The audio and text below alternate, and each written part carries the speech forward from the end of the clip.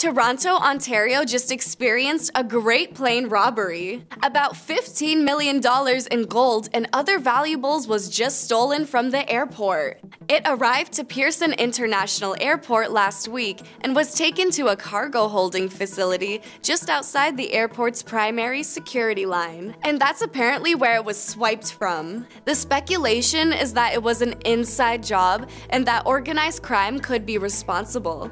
Police say it's too soon to tell and aren't sharing if they have any leads or not. This is believed to be the biggest theft in Canadian history, topping the Great Canadian Maple Syrup heist in 2012 that saw 3,000 tons of the sweet treat stolen, worth upwards of $14 million.